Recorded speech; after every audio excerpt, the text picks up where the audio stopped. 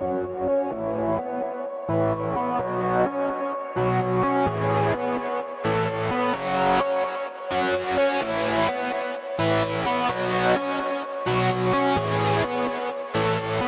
and science is something that I'm usually interested in.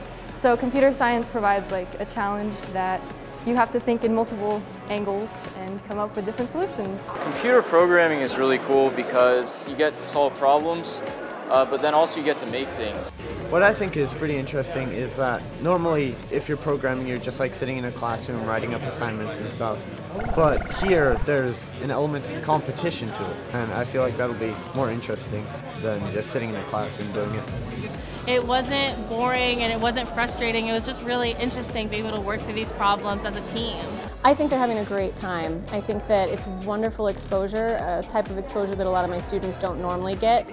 Um, I think it's very challenging, but I think that that's one of the best things that you can give kids in this day and age. My students, because we're located far away from Northern Virginia, they were excited to have an opportunity to compete with a defense contractor.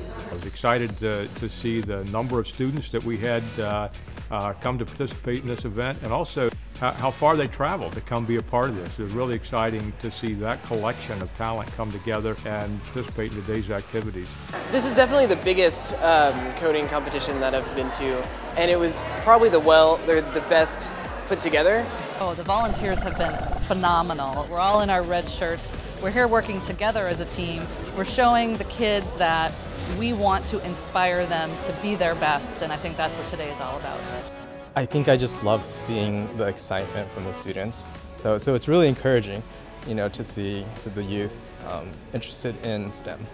It gives me a good idea of what it, in a tour like this, gives me a good idea of what it would be like to work for a company like Lockheed Martin.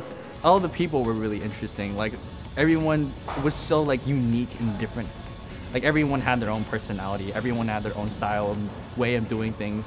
And I got to feel like Lockheed Martin had a personality like overflowing towards, towards me. I really liked it. I really enjoyed it. I thought it was really fun. I enjoyed the experience of working with my teammates who also go to my school and I got to use my programming knowledge to solve problems, so that was fun. I love like all of it. Um, getting to work with that amount of equipment, this extremely high level of skill that's needed.